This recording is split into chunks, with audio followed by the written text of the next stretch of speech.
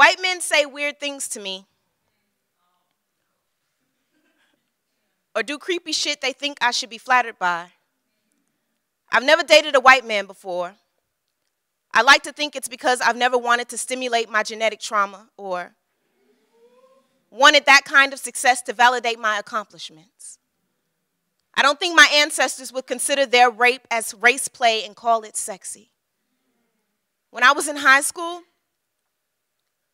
I remember my bus driver pulling the bus to the side of the road near the woods. Some folks think the hood ain't got woods, but some hoods do. And I sat stiff, rabbit, and waiting. It is in the silence where white men become the ones in every movie I've ever seen. Killers who still receive praises, Freddy Krueger's and Jason's. He moves in slow motion to the back of the bus.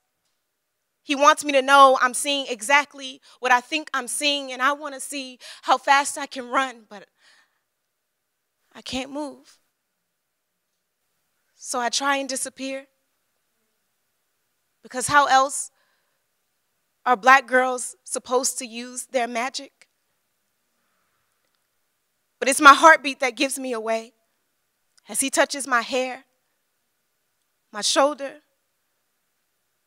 my thigh. He says, Every day you leave and come back the same. Pretty. Pretty. So pretty. And that's it. That's all he wanted me to know. He said it three times, so it must be true and traumatizing. Lets me off the bus, and I never skip track practice again.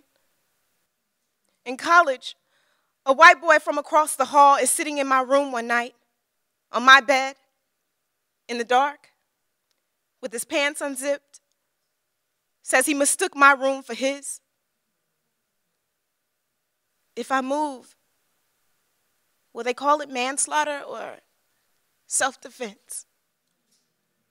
In Boston, a white man told me I looked just like his mother, and I wondered if he meant his caregiver.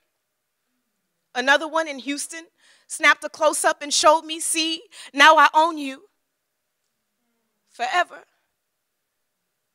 A white man in Wisconsin flicks his cigarette at me and promises to find out what hotel I'm staying in. One time in Seattle, I disappeared in a white man's blues.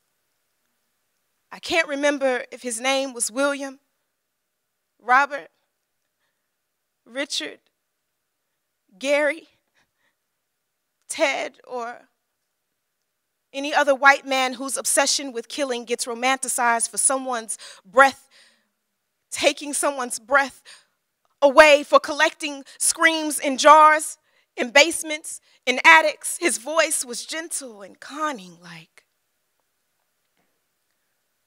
like I better be smart enough to keep my freedom. Like I better know how to stay in my own body.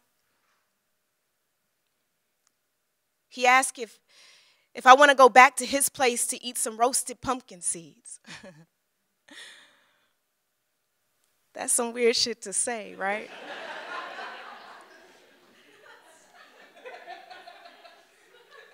Creepy, huh? White men taught me that being a predator is a compliment. That I should smile while walking or running or hiding. Shaniqua, Shantia, Anna, Harmony, Kania, aka no one turns over the earth when a black girl goes missing.